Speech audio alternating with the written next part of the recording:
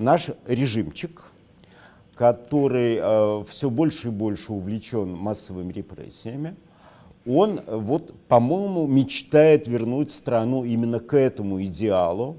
И да, всех выкашивает действительно. И вот то, что называется «жуть стало лучше», «жуть стало веселее».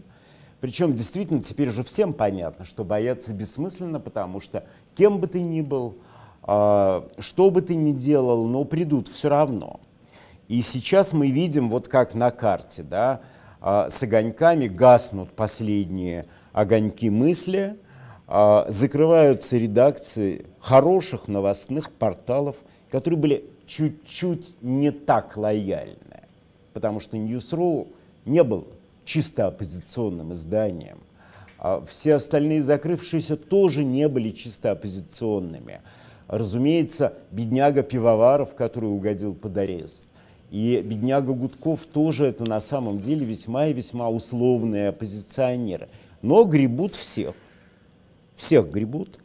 И а, совершенно неправильно а, думать, что это перед выборами некая зачистка, а потом все эти государственные вампиры вдруг порозовеют, смоют трупные пятна, сходят к дантистам, удалят, значит, вампирские клыки и э, станут какими-то другими людьми. Вот абсолютно надеяться на это не надо. Э, давильня не прекратится. Вот создан этот абсолютно избыточный, гигантский, неподражаемый, э, давильный всего живого аппарат, который плодит и плодит уголовные дела, плодит и плодит опуски, дострел... ну, еще не расстрелы, но все впереди, ребят, да? А, во-первых, потому что ничего больше эти люди делать не умеют, а послужить Отечеству им хочется. Я их понимаю. И они, кстати, избрали абсолютно верный путь, потому что этому Отечеству только таким образом служить и можно. Это действительно страна посадок, страна пыток, страна опричнины, страна ГБ, а все остальное население — это просто для того, чтобы ГБшникам было бы кого пытать и кем заниматься. Вот просто надо это понимать. Но вот эта вся ахинея, она материализуется и становится для нас, для всех правилом жизни. Ну вот при, такой, такой вот перепроизводство уголовных дел, перепроизводство репрессий. Вот представь себе, открылось бы, Оль, ну открылось бы да. 10 тысяч, вот 10 тысяч заводов по производству резиновых вагин и резиновых задниц. Ну вот овладели бы этой технологией. 10 тысяч, и тогда это было бы везде. В резиновых вагинах выходили бы митрополиты а, на Сылью.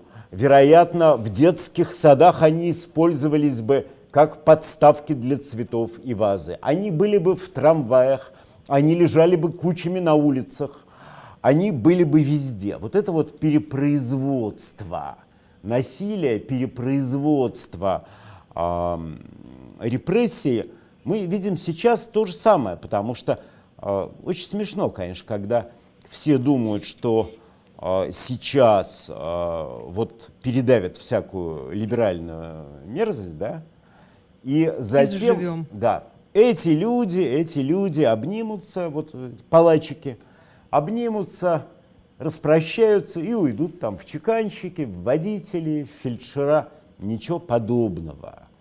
Надо а, же еще велосипедистов репрессировать. Да, нет, нет, верно. еще много перспектив. А, а вы знаете, какой интересный момент, простите, Александр да, Глебович? Да, а, вот сейчас, когда вы говорили о э, разрешении, приказе э, расстреливать детей из 12-летнего возраста за определенное преступление, а, нам тут же написали, я жила при СССР и ничего потом, подобного не помню. Ну, ее не расстреляли, а, поэтому но, она и может написать тебе ну, сегодня. Ну, просто я на всякий случай обращаю ваше внимание, что речь идет о а, а все-таки а, довольно давних, если вы жили в 30-е годы, может Нет. быть, вы действительно просто не помните, давно живете. А, но, Я о другом не менее, хочу это сказать. было абсолютной нормой. Да, но не и до 80-х. Не Чуть до 80-х, разумеется. Но вот э, надо понимать, что единственное, что вот может производить, единственный продукт, который может производить развитой путинизм, это посадки вот невинных а обыски, допросы с избиениями, с унижениями, это все делается с огоньком. Так я как раз говорю о том, что э, люди, наверняка и сейчас живущие, э, ничего такого не замечают. Они этого не замечают точно так же, как э, твоя собеседница, э, только что на, задавшая на, вопрос, вот не да. замечала, а очень многие люди жили и не замечали. Очень многие люди в нацистской Германии – не, не подозревали и не замечали и не верили в наличие концентрационных лагерей, пока американцы не привозили их в эти лагеря и не показывали эти шеренги трупов.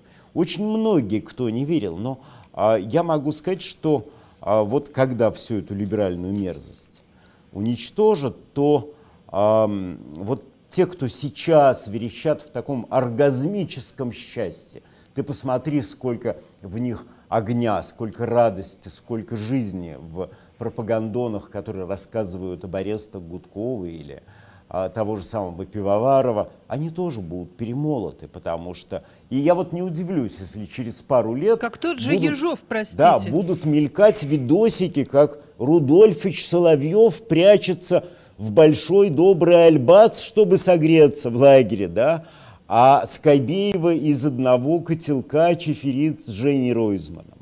Вот не буду я удивлен. Диктатуры никогда не бывают благодарны за верность. Это иллюзия. Да? Они всегда, сожрав дальних, принимаются за ближних. Мы много раз это проходили. И отметь, Оля, что практически все то, что я говорю, сбывается с почти математической точностью.